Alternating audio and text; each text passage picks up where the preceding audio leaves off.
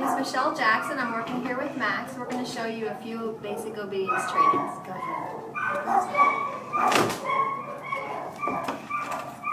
Max, sit. Good. Max, stand. Good. Max, sit. Down. Good boy. He's really responding nicely. Max, come. Good boy. Sit. Yes, good job. Very nice. Max, heel. Heel. Good boy. Good boy. Heel. Good. What a good boy. Heel. Good. Good boy. Sit. Sit. Ah, good boy. Free. So far, his biggest challenge has been the stay, so we're going to work with the stay right now. Come on over here, Max. Sit. Stay. Good boy. Good stay.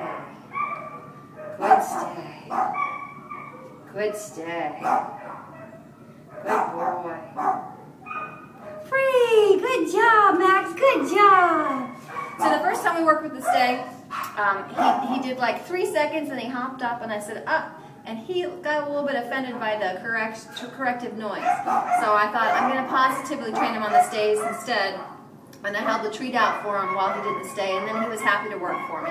So we will keep working with him, and we will talk to you via email. Thanks for tuning in. Bye-bye.